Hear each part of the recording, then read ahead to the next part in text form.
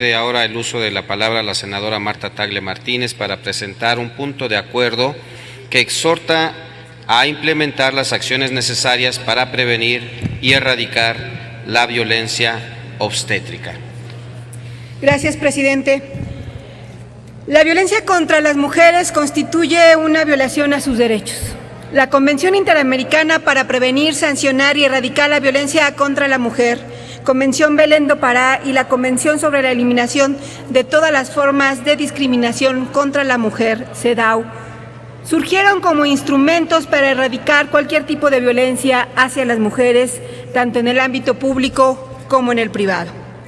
En los últimos años, la Organización Mundial de la Salud ha expresado su preocupación respecto del incremento en la cantidad de partos por cesárea y las posibles consecuencias negativas para la salud materno-infantil. Aunado al elevado número de casos de violencia obstétrica, este tipo de violencia es ejercido por los profesionales y personal de salud e impacta sobre el proceso reproductivo de las mujeres se expresa en el trato deshumanizado hacia las mujeres durante el embarazo, parto y puerperio. Este tipo de violencia es poco visibilizado, pero desafortunadamente es muy frecuente.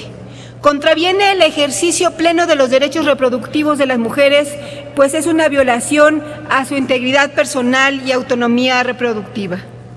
La violencia obstétrica es una forma específica de violencia contra las mujeres que constituye una violación a los derechos humanos. Consiste en cualquier acción o omisión por parte del Sistema Nacional de Salud que cause un daño físico y o psicológico a la mujer durante el embarazo, parto y puerperio,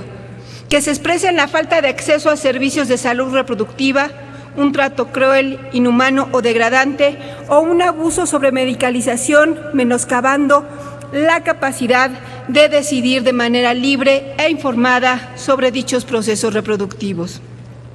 Las manifestaciones de violencia obstétrica pueden abarcar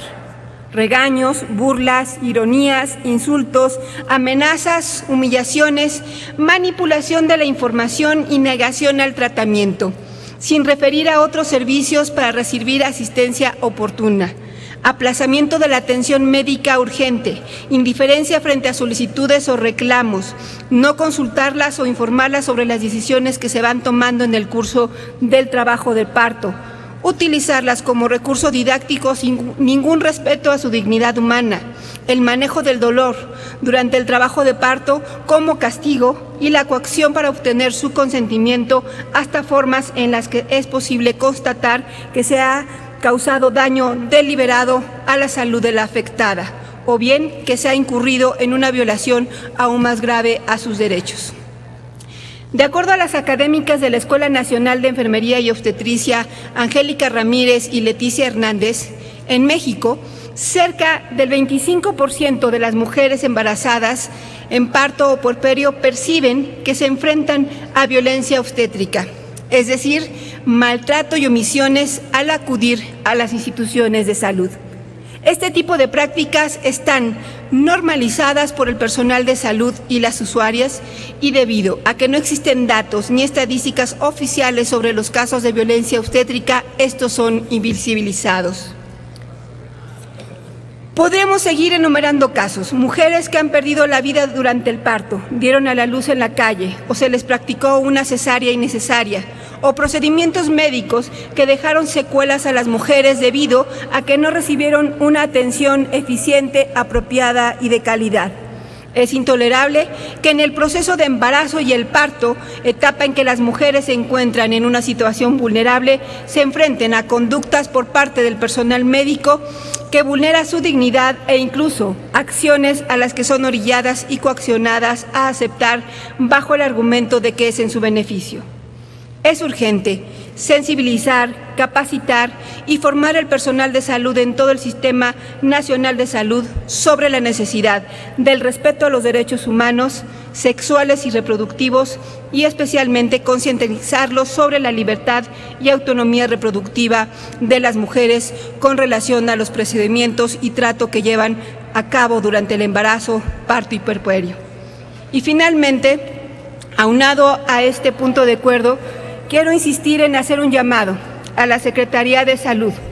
a fin de que en la discusión que se está dando hoy en la Cámara de Diputados sobre una reforma a la Ley General de Acceso, donde se debería de incluir el reconocimiento a la norma 046, que busca establecer el procedimiento en casos de aborto por violación, la Secretaría de Salud se pronuncie sobre la obligación que existe por parte del Estado mexicano para que esta norma oficial mexicana 046 es obligatoria en todo el país y por parte de todos quienes participan en el Sistema Nacional de Salud. Y que no importa en que termine esa reforma que se está discutiendo en Cámara de Diputados, que es obligación de la Secretaría de Salud hacerla valer. Es cuanto. Muchas gracias. Muchas gracias, senadora Tagle. Túrnese.